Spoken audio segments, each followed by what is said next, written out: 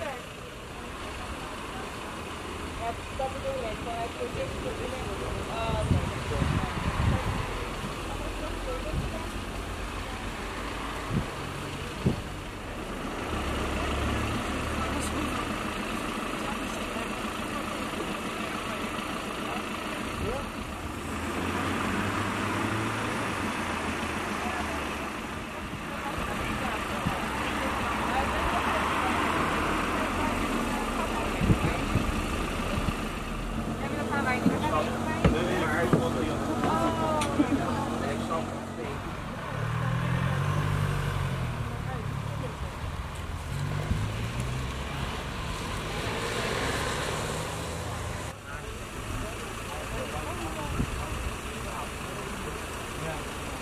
Ja, wat moet je doen dan?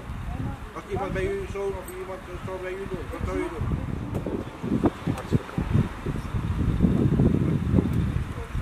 Dat is die hartstikke ook verklaard.